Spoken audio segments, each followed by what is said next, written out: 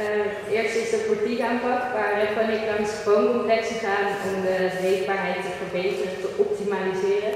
En de andere twee zijn kinderprojecten.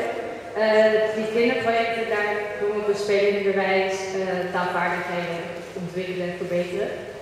op dit moment zitten we in de kat, op de Wagenaarstraat, en daar gaat Remco iets over vertellen. Ja, want ik sta natuurlijk vandaag hier om mensen aan te spreken om met ons iets te gaan doen. Wij zijn verantwoordelijk voor het Kathuis dit jaar en de invulling daarvan.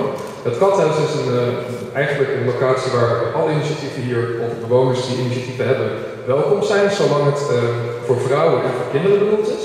Het Kathuis is een oorspronkelijk een vrouwenhuis, dus daar moeten we wel rekening mee houden. en wij willen graag iedereen uitnodigen om met ons mee te denken hoe we deze ruimte een goede invulling kunnen geven. Dus op het gebied van projecten of burgerinitiatieven.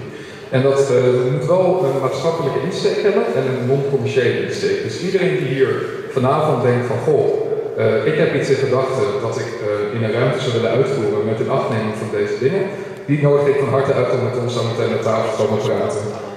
ik heb al een voorbeeld voor mensen die graag zin hebben om onze tuin op te knappen.